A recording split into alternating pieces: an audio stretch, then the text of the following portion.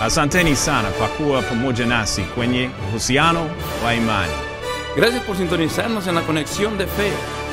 متشکرم که برنامه ارتباط ایمان را دنبال می کنید جایی که می‌تونیم شما را به خداوند ارتباط بدیم سلام عرض می کنم دوستان عزیز هم میهنان به برنامه ارتباط ایمان خوش آمدید خداوند رو شکر گذاریم برای دوباره این برنامه‌ای که خداوند هدایت می‌کنه که بتونیم این برنامه رو تهیه کنیم کلام خداوند رو بخونیم.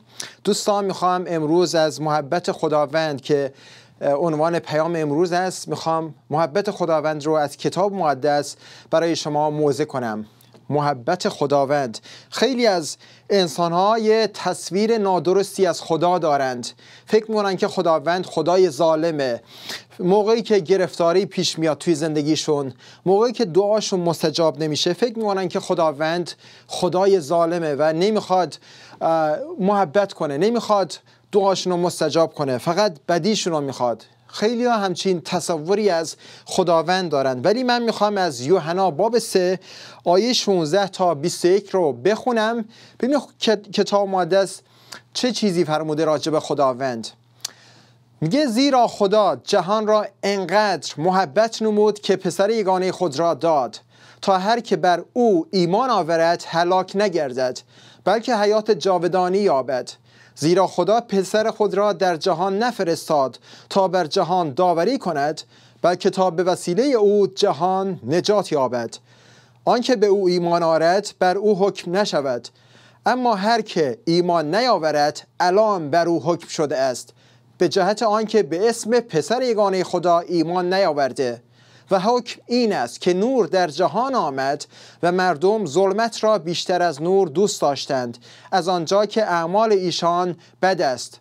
زیرا هر که عمل بد می کند روشنی را دشمن دارد و پیش روشنی نمی آید مبادا اعمال او توبیک شود. ولیکن کسی که به راستی عمل می کند پیش روشنی می آید تا آنکه اعمال او هویدا گردد که در خدا کرده شده است. پس این کلام خداست کتاب مقدس میگه زیرا خدا جهان را انقدر محبت نمود که پسر یگانه خود را داد.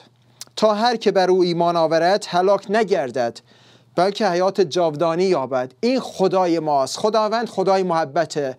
و می‌خوایم این آیه که مهمترین آیه کتاب مقدسه که خیلی از واعظین خیلی از کشیشان این کلام رو این آیه رو موضع کردند که من اولینش نیستم. ولی خب همیشه حقیقت هستش تو این کلام. همیشه تازه است برای ما هر چقدر بخونیم. باز کمه واقعا کلام شیرین آیه شیرینی هستش که می‌خوام امروز این آیه رو بخش بندی کنم و از کلام خداوند می‌خوام یه حقیقت تازه یاد بگیریم.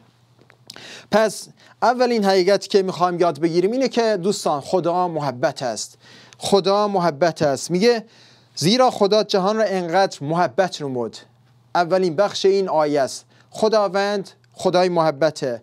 در اول یوحنا باب چهار آیه هشت و 16 اینو می‌خونیم. میگه کسی که محبت نمی نماید خدا را نمی شناسد زیرا خدا محبت است.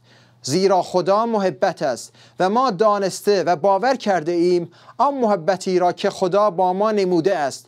خدا محبت است و هر که در محبت ساکن است در خدا ساکن است و خدا در وی. پس این حقیقت که خداوند محبته این کلام خداوند به ما میگه. خداوند نمی‌تونه با ما دشمنی کنه. خداوند محبت می‌کنه. خداوند می‌خواد ما نجات پیدا کنیم و ما را دوست داره. و و کتاب مقدس میگه که پدر پسر را دوست داره. خدای پدر پسر خودش رو دوست داره. در یوحنا باب ده آیه 17 می‌خونیم. عیسی مسیح فرمود و از این سبب پدر مرا دوست میدارد که من جان خود را می نهم تا آن را بازگیرم. پس میگه پدر مرا دوست دارد. پدر پسر رو دوست داره. نه تنها خدای پدر پسر رو دوست داره بلکه در کتاب مقدس می‌خونیم که پسر پدر را دوست دارد. در یوحنا باب 14 آیه 31 عیسی مسیح فرمود لیکن تا جهان بداند که پدر را محبت می نمایم چنان که پدر به من حکم کرد همانطور می کنم پس میگه پدر را محبت می نمایم پس عیسی مسیح پدرش رو محبت می‌کنه. و همچنین حقیقت دیگه ای که هستش اینه که خدا مسیحیان را دوست دارد. در افساسیان پنج آیه دو می‌خونیم. میگه و در محبت رفتار نمایید چنان که مسیح هم ما را محبت نمود و خیشتن را برای ما به خدا هدیه و قربانی برای عطر خوشبوی گذرانید. پس مسیح هم ما رو محبت نمود. مسیح هم ما رو دوست داره. خداوند ما مسیحیان را هم دوست داره. پس پدر پسر رو دوست داره پسر پدر رو دوست داره خداوند مسیحیان رو دوست داره و چهارمین چیز اینه که خدا یهودیان را دوست دارد. خدا یهودیان را دوست دارد. در رومیان باب 11 آیه 28 می‌خونیم. یه نظر به انجیل به جهت شما دشمنانند. لیکن نظر به اختیار به خاطر اجداد محبوبند. می به خاطر اجدادشون که خداوند به ابراهیم وعده داد که بهشون نسل بده زمین بده برکت بده. به قوم بنی اسرائیل میگه محبوبند. یهودیان نزد خداوند محبوب دوستدار خدا هستند. پس خداوند یهودیان را هم دوست داره. خداوند گناهکاران را دوست دارد.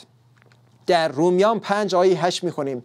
می لاکن خدا محبت خود را در ما ثابت می کند از اینکه هنگامی که ما هنوز گناهکار بودیم مسیح در راه ما مرد.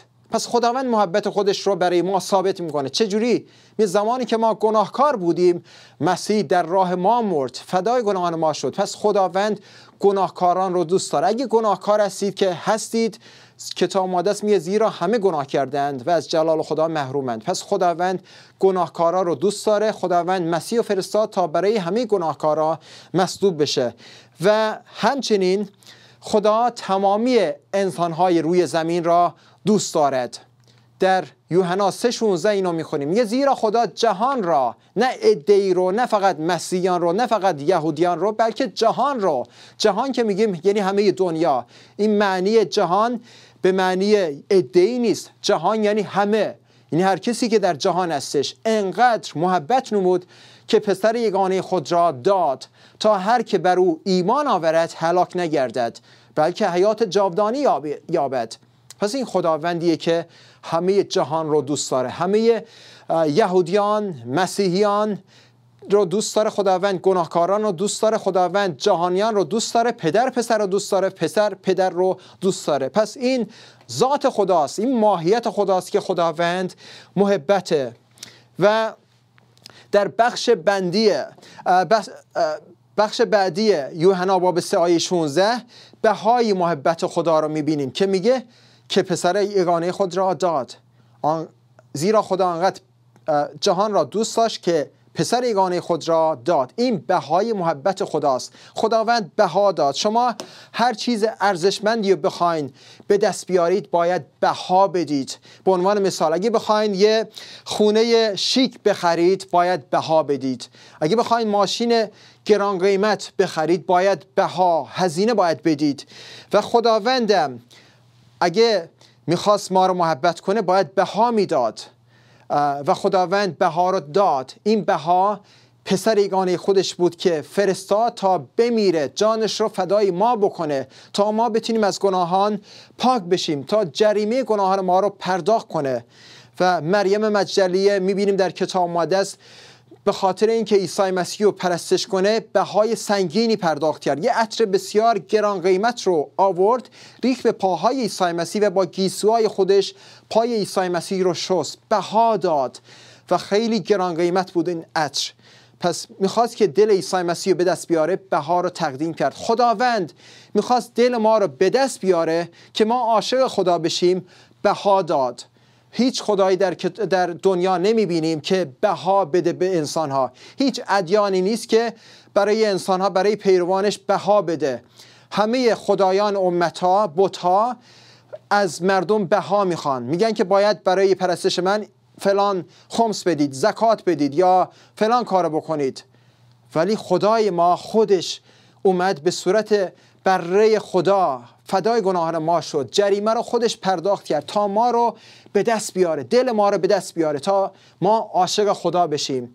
و این واقعا ما رو به زانو در میاره. موقعی که می‌بینیم خداوند چقدر خدای محبته چقدر ما رو دوست داره ما عاشقش میشیم. و روزی که من به عیسی مسیح ایمان آوردم فهمیدم که عیسی مسیح کیه؟ فهمیدم که او خداست.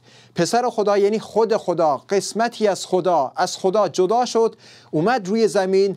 شناختی که از عیسی مسیح پیدا کردم که منو خرید با خون خودش اون موقع زانو زدم. گفتم عیسی مسیح منو نجات بده منو ببخش که من پشتم کرده بودم بر تو به ادیان دیگه ایمان آوردم آورده بودم. به دینی که از طرف تو نبود منو ببخش توبه می‌کنم از دینم از مذهبم از گناهم توبه می‌کنم. ای عیسی خداوند منو نجات بده منو ببخش. و همون لحظه ای که دعا کردم عیسی مسیح منو نجاتم داد روح القدس به من داد زندگیمو متحول کرد یه حیات تازه به من بخشید و زندگی از اون روز به بعد واقعا معنا پیدا کرد و زندگیم شاد شد. خداوند عوضم کرد. خداوند نجاتم داد. و دارم لذت می‌برم با خدای خودم که خداوند هر لحظه در افکارمه در قلبمه در وجودم خداوند. تمام روز و شب فکرم خداست. این خدایی که چون منو خریده با خونه خودش بها رو داده من عاشق خدا هستم. در افسوسیان باب آیه یک می‌کنیم که ما در خطایا و گناهان خودمون مرده بودیم. در افسوسیان باب دو آیه دو می‌خونیم که ما فرزندان معصیت بودیم. آیه سهش می‌خونیم که ما فرزندان غضب بودیم. در افسوسیان باب دو آیه دوازده می‌خونیم که ما از عهد و وعده های خدا بیگانه و اجنبی بودیم. و افسوسیان باب دو آیه سیزده می‌خونیم که ما از خدا دور بودیم. رومیان باب سه آیه دوازده می‌خونیم که ما گمراه و جمیعا باطل بودیم. چرا شاید بپرسید که چرا خداوند برای موجودات گمراه و باطل اجنبی دشمن خدا چرا خداوند هزینه پرداخت کرد؟ چرا خداوند این بهار رو داد تا ما رو به دست بیاره؟ چرا چون خداوند ما را شبیه خودش آفریده؟ ما در تصویر و شباهت خدا آفریده شدیم. خداوند ما را مثل ربات نیافرید. خداوند ما را شبیه خودش آفرید. به ما وجدان داد به ما عقل داد. روح خودش را دمید در ما. خداوند می‌خواد ما شبیهش باشیم. می‌خواد با ما مشارکت کنه. می‌خواد با ما در ارتباط باشه. و این رو خداوند از طریق پرداخت بها به دست آورد. خداوند بها رو پرداخت کرد. عیسی مسیح داد که فدای گناهان ما بشه تا ما بتونیم عاشق خدا بشیم. بهش ایمان بیاریم و از گناهان پاک بشیم تقدیس بشیم. و خداوند می‌خواد با ما در ارتباط باشه مشارکت پیدا کنه و با ایمان به عیسی مسیح روح ما زنده میشه. ما که مرده بودیم در گناهان روح ما مرده بود. هیچ مشارکتی نداشتیم با خداوند. هر چقدر ما می‌خواستیم دعا کنیم دعای ما نمی‌رسید به خدا چون روح ما مرده بود. این روح با ایمان به عیسی مسیح فقط زنده میشه. عیسی مسیح گفت اگر کسی از جسم و روح تولد نیابه نمی‌تونه وارد ملکوت خدا بشه. نمی‌تونی بری بهش. باید از روح و جسم زنده بشی. روح ما با ایمان به عیسی مسیح زنده میشه. در ابرانیان باب 9 آیه 14 می‌خونیم میگه پس آیا چند مرتبه زیاده خون مسیح که به روح ازلی خیشتن را بی ای به خدا گذرانید زمیر شما را از اعمال مرده طاهر نخواهد ساخت تا خدای زنده را خدمت نمایید؟ خداوند می‌خواد که یه چیزی که می‌خواد بخره می‌خواد برای خودش استفاده کنه. شما چیزی رو نمی‌خرید که بندازید بیرون یا بذارید کنار. یه چیزی رو می‌خرید تا ازش استفاده کنید. خداوند ما رو خرید بها رو داد تا از ما استفاده کنه. پس خداوند ما رو خرید تا خدمت کنیم به خداوند. از ما می‌خواد استفاده کنه. و در بخش بعدی انجیل یوحنا 3:16 می‌خونیم شرط دریافت محبت خدا رو می‌خونیم. می تا هر که بر او ایمان آورد. این شرط دریافت محبت خدا. اگه بخوای این محبت خدا رو دریافت کنی باید به او ایمان بیاری. در یوحنا باب 6 آیه 35 می‌خونیم. میگه عیسی به دیشان گفت من نان حیات هستم. کسی که نزد من آید هرگز گرسنه نشود. و هر که به من ایمان آرد هرگز تشنه نگردد. یعنی اگه به عیسی مسیح ایمان بیارید می‌تونید اون نان حیات رو به دست بیارید. نان حیات یعنی اون محبت خدا یعنی اون حیات جاودانه که می‌تونید به دست بیارید. اون محبت خدا رو. شرط نجات خدا اینه که باید به عیسی مسیح ایمان بیارید. در یوحنا باب هفت آیه 37 تا 38 می‌خونیم. میگه و در روز آخر که روز بزرگ عید بود عیسی ایستاده ندا کرد و گفت هر که تشنه باشد نزد من آید و بنوشد. کسی که به من ایمان آورد چنان که کتاب می‌گوید از بطن او نهرهای آب زنده جاری خواهد شد. پس عیسی مسیح داره دعوت می‌کنه. میگه هر کسی که تشنه باشد اگه تشنه خدا هستید میگه نزد من آید. نرید نزد دیگه. خداوند عیسی مسیح خدای زنده است. میگه اگه کسی نزد من آید و به من ایمان آورد چنان که کتاب می‌گوید از بطن او نهرهای آب زنده جاری خواهد شد. یعنی روح القدس در دل او در بطن او ساکن خواهد شد و روح القدس جاری خواهد شد. ثمرات خودش رو به دیگران نشون خواهد داد. ثمرات روح القدس محبت خوشی صبر حلم پرهیزکاری نیکویی این چیزها هستش که می‌تونه از ما نمایان بشه. مردم می‌تونن اون تغییرات در ما ببینند. پس خداوند شرط دریافت خدا رو به ما نشون میده. میگه باید اون دریافت محبت خدا رو باید دریافت کنید چجوری؟ هر که به من ایمان آورد باید به عیسی مسیح ایمان بیاریم تا بتونیم محبت خدا رو به دست بیاریم. یوحنا باب دوازده آیه 46 عیسی مسیح فرمود من نوری در جهان آمدم تا هر که به من ایمان آورد در ظلمت نماند. عیسی مسیح باز می‌خواد که ما را از ظلمت رهایی بده. میگه هر کسی که به من ایمان آورد در ظلمت نماند. عیسی مسیح می‌خواد که ما از ظلمت یعنی ظلمت یعنی گناه از تاریکی گناه از کارهای زشت از اعمال بد می‌خواد ما رو آزاد کنه. عیسی مسیح معجزات بسیاری رو کرد که در کتاب انجیل یوحنا زیاد نوشته نشد. خیلی هاشون نوشته نشد. اما آنقدر نوشته شد که ما بتونیم بهش ایمان بیاریم و با ایمان نجات پیدا کنیم و حیات جاودان به دست بیاریم. اگر از مردم سوال کنید و ببینید که آیا به عیسی مسیح ایمان دارن یا نه خواهید دید که 95 درصد می‌گویم بله ایمان دارم. اما دوستان کتاب مقدس میگه شیطان هم ایمان داره و میلرزه. ایمان دو نوع هستش ایمان ذهنی و ایمان قلبی. بعضیا ایمان ذهنی دارند. میرن کلیسا میگن که آره من به عیسی مسیح ایمان دارم. ایمان ذهنی یعنی ایمان غیر فعال. یعنی اینکه شخصی می‌دونه که عیسی مسیح روی صلیب برای گناهانش مرد. اما عملی انجام نمیده واکنش نشون میده نمیده راجع به اون عمل عیسی مسیح. همه ادیان به عیسی مسیح ایمان دارند. ولی آیا حیات ابد دارند؟ نه. ایمان دوم ایمان قلبی هستش. ایمان قلبی ایمان فعاله. یعنی شخصی که به عیسی مسیح ایمان میاره پی می‌بره که گناهکاره و می‌دونه که عیسی مسیح خداست و برای گناهانش مرد و بعد زانو می‌زنه. نام خداوند رو فریاد می‌زنه. میگه خداوندا منو ببخش من گناهکارم. منو نجات بده. زندگی خودم رو وقف تو می‌کنم. ای خداوند ای عیسی مسیح. اون کسی که خودش رو تسلیم عیسی مسیح می‌کنه اون شخصی هستش که ایمان قلبی داره و اون نجات و محبت خدا رو دریافت می‌کنه. پس ایمان ذهنی دوستان کافی نیست. باید از ته دل ایمان بیارید و واکنش نشون بدید. باید نام خداوند رو بخونید. و بخش بعدی این انجیل یوحنا باب 3 آیه 16 نتیجه دریافت محبت خداست. اگه محبت خدا را دریافت کنید چه نتیجه خواهد داشت؟ می هلاک نگردد. بلکه حیات جاودان یابد. هلاک نگردد. یعنی چی؟ منظور از هلاکت یعنی جهنمه. یعنی جهنم نخواهید رفت. بعد از مرگ که نتیجه گناهان ما جهنمه. کتاب مقدس میگه زیرا مزد گناه مرگ است. اما محبت خدا اما هدیه خدا حیات جاودان است از طریق عیسی مسیح خداوند ما. پس مزد گناه مرگه چه نوع مرگی؟ میگه و مرگ و دنیای مردگان به دریاچه آتش افکنده شد. این است مرگ ثانی. پس مرگ ثانی یا مرگ دوم دریاچه آتشه که گناهان ما ما رو می‌بره دریاچه آتش.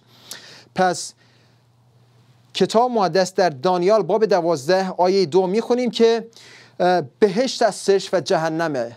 دانیال باب دوازده آیه دو میگه بسیاری از آنانی که در خاک زمین خوابیدند بیدار خواهند شد. یعنی کسایی که در خاک زمین در قبر یعنی مرده اند خوابیده اند بیدار خواهند شد. اما اینان به جهت حیات جاودانی و آنان به جهت خجالت و حقارت جاودانی. پس دو عده انسان ها زنده خواهند شد. یه بعضیا میرن به حیات جاودانی و بعضیا به خجالت و حقارت جاودانی یعنی جهنم. پس می‌بینیم مدت بهش و جهنم یکیه. هر دوتاش جاودانی هستن. یعنی هر کی میره بهش تا ابد توی بهش خواهد بود و هر کسی که میره جهنم تا ابد توی جهنم خواهد بود. دعا می‌کنم که از جهنم نجات پیدا کنید و این کار فقط از طریق عیسی مسیح اتفاق خواهد افتاد. اگه به عیسی مسیح ایمان بیارید از جهنم نجات خواهید یافت. هر دو مکان مکان واقعی است. هر به هم بهشت هم جهنم. مکان واقعیه که شخصی که میره بهشت توی بهشت خواهد بود. شخصی که میره جهنم توی جهنم واقعی که جایی که عذاب هستش خواهد بود. هر هر دو بهشت و جهنم راه خروج ندارن. اگه برید بهشت نمی‌تونید خارج بشید. اگه برید جهنم نمی‌تونید از جهنم خارج بشید و برید بهشت. بعضیا میگن که اگه برید جهنم برای گناهانتون مجازات خواهید شد و بعد منتقل میشید برید بهش. این محاله. کتاب مقدس میگه کسایی که میرن جهنم نمی‌تونن خارج بشن و کسایی که بدانجا وارد می‌شوند تا به ابد آنجا خواهند ماند. جهنم هرگز ولی دوستان برای انسان آفریده نشد. خداوند جهنم, جهنم رو برای شیطان آفرید و فرشتگان شیطان. چون شیطان گناه کرد و یه فرشته زیبا بود. علیه خداوند سرکشی کرد و خداوند جهنم رو برای شیطان درست کرد. ولی ما هم مانند شیطان سرکشی می‌کنیم. ما هم لایق جهنم هستیم. ما مهمان ناخوانده هستیم. اگه بخوایم بریم جهنم مهمان ناخنده هستیم. ما برای جهنم ساخته نشدیم. عیسی مسیح بهای گناهان ما رو پرداخت کرد که مبادا ما بریم جهنم. جهنم مال ما نیست جهنم مال شیطانه.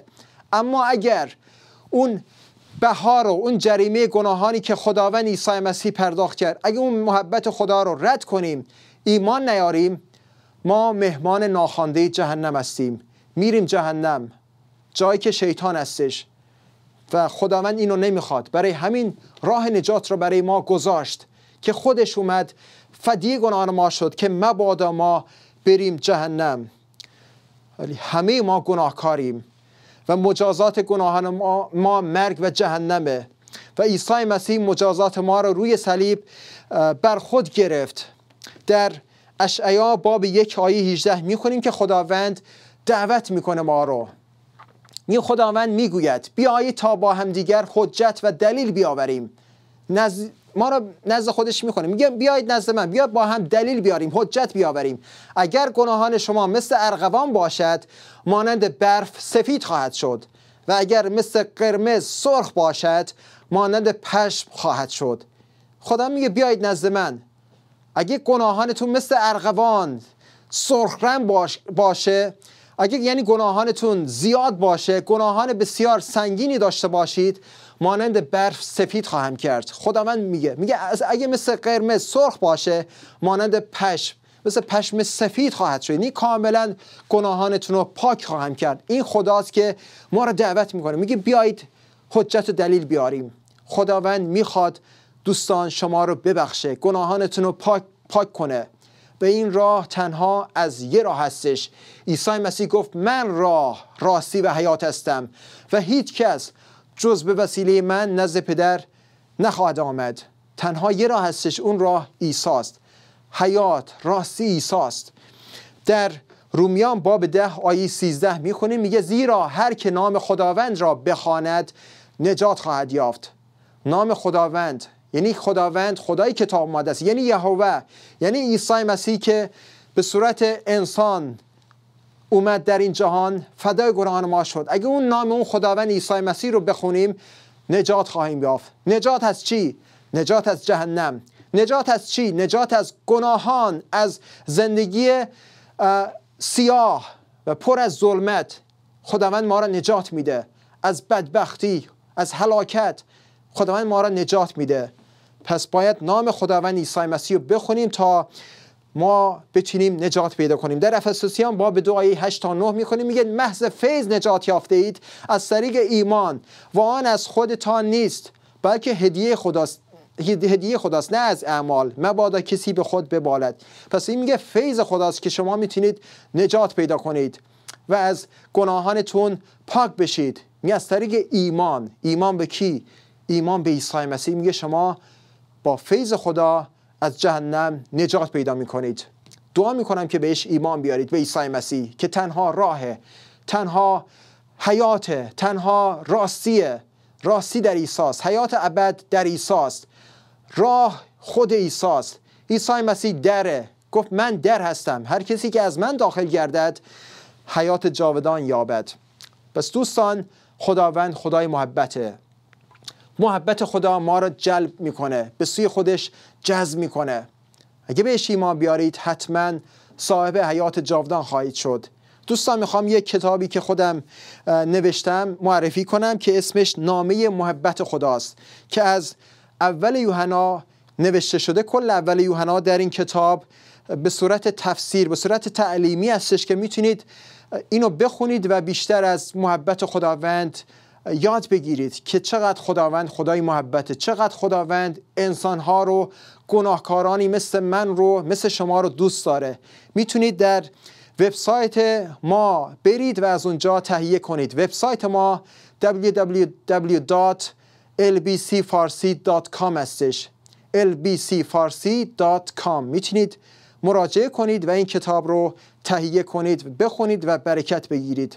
دوستان دعا می‌کنم که امروز از این پیام فیض برده باشید و بدونید که خداوند ما خدای محبته. خدایی نیست که بخواد ما رو راهی جهنم کنه. خداوند گرچه جهنم هستش حقیقت داره خداوند نمی‌خواد ما بریم جهنم. خداوند انقدر از جهنم نفرت داره می‌دونه که چقدر جای عذاب آوره چقدر جای سختیه.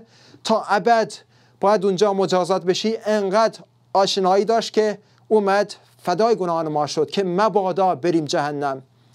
و این کار ماست این وظیفه ماست که بریم خداوند رو بجوییم تا بتونیم خدای واقعی رو پیدا کنیم. خیلی از ادیان خیلی از اشخاص هستن که در دین خودشون به دنیا میان و با دین خودشون میمیرن. آیا همه ادیان راهی بهشت هستند؟ آیا خدایان ادیان مختلف همشون یه خدا هستند مسلما نه. چرا؟ چون اسم خداشون مختلفه راههاشون مختلف پیاماشون کتاباشون مختلفه هیچ کدومشون با هم هماهنگ نیستن. پس باید یه خدا خدای واقعی باشه. بقیهشون دروغن. و عیسی مسیح گفت من راه راستی حیات هستم. و با معجزاتش عیسی مسیح ثابت کرد که حقیقته. با اعمالش با شهادتش با کلام خداوند که پر از پیشگویی ثابت می‌کنه که خداوند عیسی مسیح خدای زنده است. خدا بهتون برکت بده و شما رو به دستان عیسی مسیح میسپارم تا برنامه آینده. خدا بهتون برکت بده. متشکرم که برنامه ارتباط ایمان را دنبال می کنید جایی که می‌تونیم شما را به خداوند ارتباط بدیم.